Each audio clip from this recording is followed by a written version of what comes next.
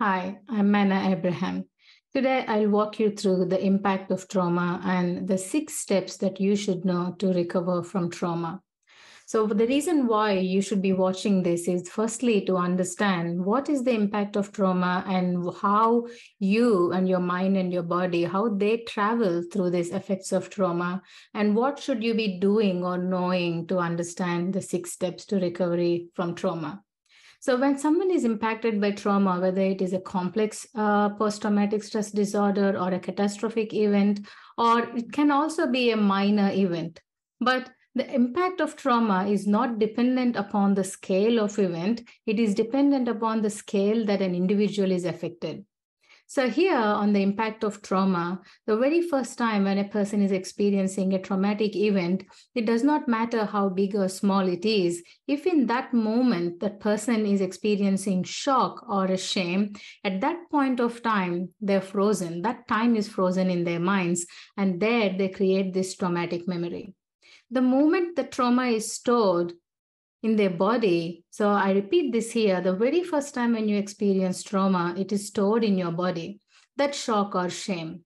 At that point of time, what happens is an individual may not be wanting to talk about it and they deny even acknowledging that they experienced something catastrophic or a traumatic event.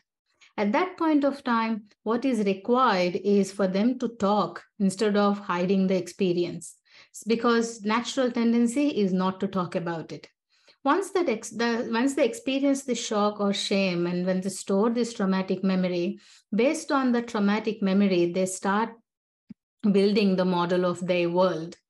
And based on that model they assume a trauma identity that assumed trauma identity is quite different from a normal identity.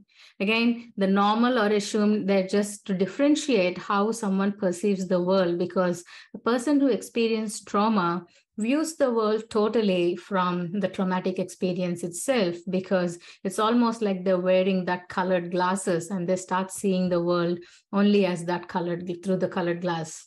So as a result of this assumed trauma identity who they have become and how they perceive the world is quite different and if you are not addressing this assumed trauma identity, or if you're addressing this assumed trauma identity from a normal identity, you will not be able to understand the model of this world because it's almost like yeah, a scientist and an artist coming together and trying to understand each other. They have completely two different worlds.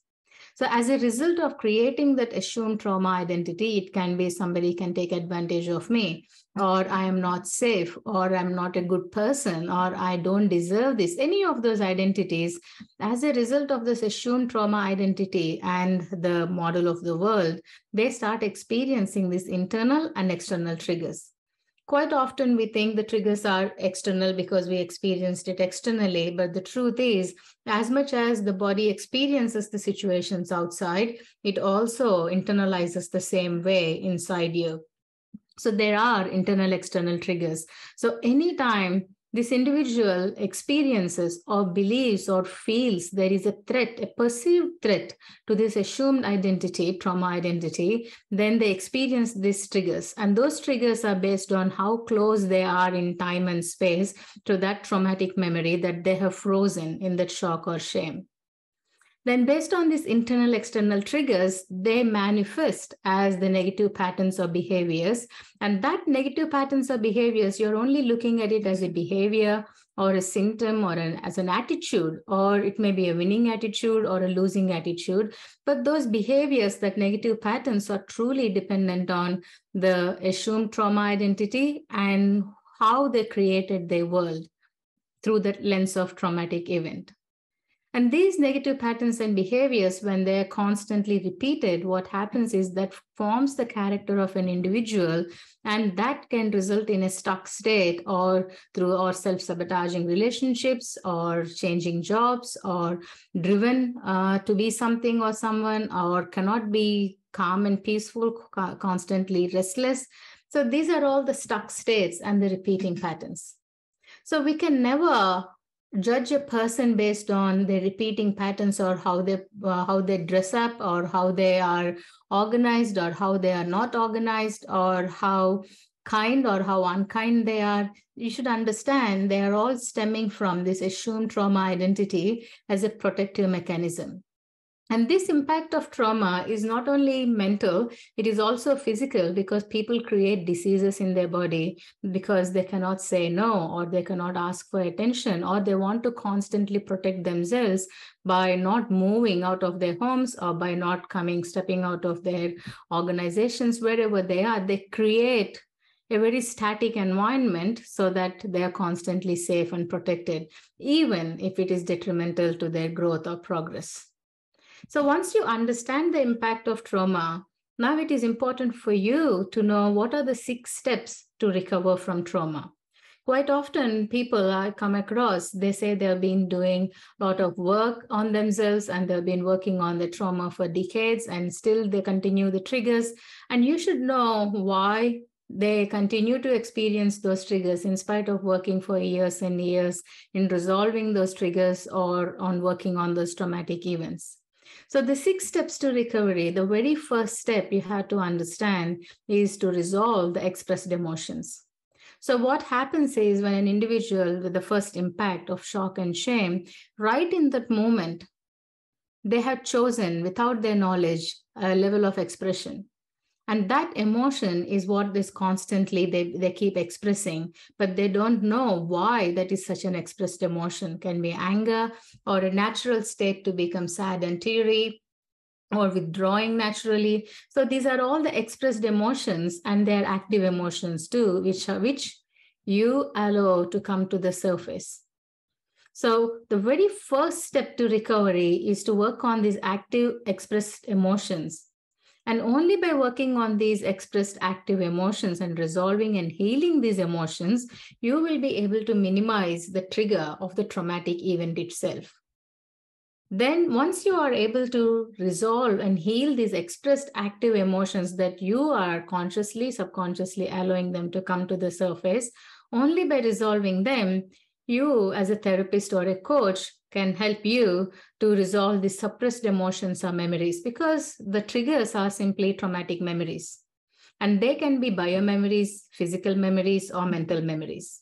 So, these, the second level, the second step to recovery is to work on those suppressed emotions or memories because once you allow the expressed active emotions and once you help see them, then once you resolve them and you become aware of them, and once you release the memories associated with that expressed emotions, only then you will be allow, allowing yourself to bring up the suppressed emotions. Those suppressed emotions and memories, they have such a powerful impact and they're quite deep, deeper than the expressed emotions. But you will be naturally being triggered by these expressed emotions because that is a distraction that you create so that you can avoid these suppressed emotions and memories. And then the second step, when you're working on these suppressed emotions and memories, and once you resolve them, they are deeper ones. And once you resolve those suppressed emotions or memories, only after working on those bio memory and a physical memory, and to some extent on a mental memory, the third step to recovery in the process is the identity conflict. The identity conflicts are any person who is experiencing trauma or experienced trauma and experiencing the triggers of the traumatic event itself, they create multiple personalities. The expression of that identity conflict are your internal conflicts. These internal conflicts are, again, the surface symptoms. You're constantly asking, why do I do this? Why am I self sabotaging? Why am I not pursuing what I want? So, who am I? So, these are all the different conflicts that you will be experiencing, which are internal conflicts, but you have to realize those internal conflicts are an expression of your identity conflicts. And once you resolve the internal conflicts through your values, through your beliefs, through your choices, perceptions, decisions. So, once you're working on your internal conflicts, then the last step over here is the outward expression. So, these expressed emotions, suppressed emotions and memories, which are biomemories, physical memories, and mental memories, and the identity conflicts and the internal conflicts, which are your meanings of the mind. They all result in an outward expression.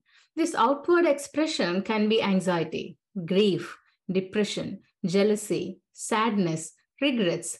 These outward expressions result in a stuck state that you're not able to move forward.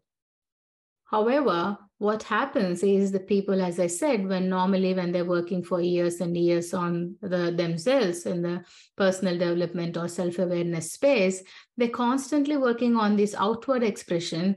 And it's as though you're trying to move, push a car while you're sitting with your brakes on because you do not want to move because the reason why you cannot move from here is not dependent on the how stuck you are or what goals you have or what purpose you have. It is not dependent on that. It is dependent on these expressed emotions, biomemories, uh, physical memories, suppressed emotions and memories, which can be mental memories also here.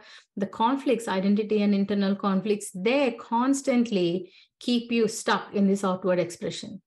So as much as you think you're working with someone and making progress, making those small goals, small outcomes, small achievements, it's an elastic band effect. The moment you make one take one step forward, you go right back to the uh, expressed emotion, this state of triggers. So can you now see the need to really uh, understand trauma from mind, body, energy, and spiritual perspective is quite a key and is important for you to recover from trauma. And you have to, when you're ready, start with this very first step to recovery, the expressed emotion. And once you're able to see through the six steps to recovery, what is important for you to understand is these are the six aspects of really living a life beyond trauma. So, first, what we do is we dissolve the triggers. Then we release the emotions, which is absolutely body oriented. And you can have some somatics in there, but also you're exclusively working on memories stored in the body. Then the next step is to work on the mind, where we work on identity alignment because identity conflict is a, a major uh, block for many people.